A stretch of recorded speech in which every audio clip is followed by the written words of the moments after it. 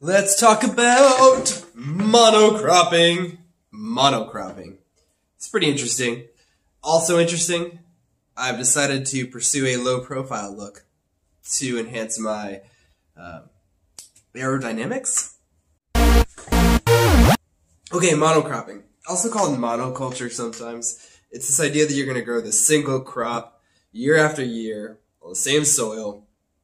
There are definitely good things. Monocropping has increased the world's accessibility and availability of foods, and it allows for specialization and increased efficiency. So if you have thousands of acres, you just grow corn or wheat or soybeans or cows, uh, you know, that's cool because it means you're probably going to be way more efficient. You'll use less resources to get more food for everybody, which is pretty awesome. So monocropping on net has been a beneficial thing the world's globalized economy for agriculture, but it's also been a little bit terrifying.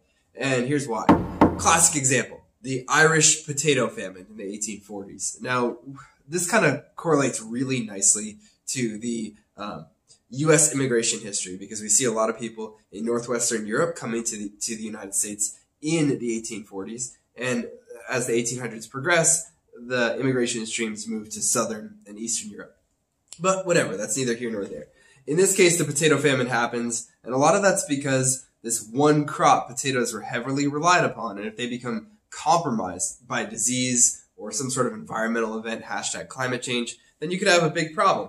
Another example would be bananas. In the 1950s, we relied on the Gros Michel banana, delicious, perhaps smaller and more tasty than the current banana, and because every banana on earth was that type of banana, they all became exposed and uh, diseased, and we had to switch to the Cavendish, which is the common banana that we eat today. The problem with the Cavendish is that it's also having uh, problems and exposure to disease all over the world. I believe in the Pacific Islands and perhaps in Central South America, whatever.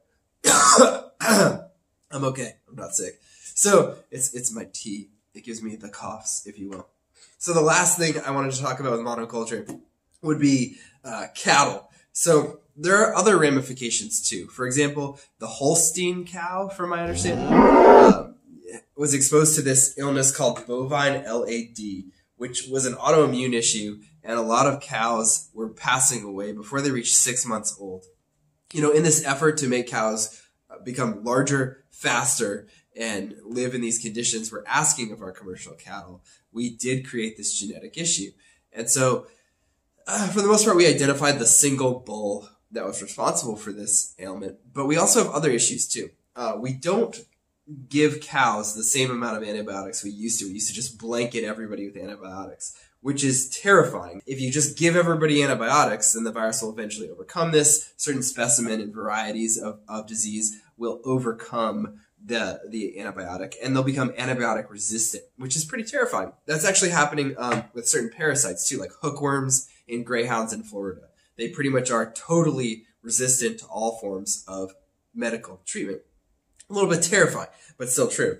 Uh, so, but antibiotic resistance exists, which is why a lot of milk nowadays says that you know there's no or the the meat products in the grocery store say that they're not treated with random antibiotics. But and that's true. That's a good thing. We do want to use them sparingly, you know, with low dosage and minimally acceptable doses to make it work. But you know, uh, and then escalate as we need to. Otherwise, we create that resilience to antibiotics, which is terrifying. So monoculture, good, increased efficiency, increased scale. Uh, we get to make more money. That's cool in the global market because we're buying and selling across Earth.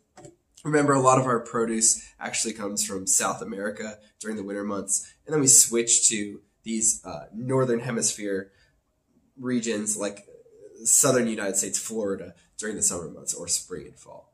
I hope you guys have an awesome day and uh, never forget monoculture, good and bad.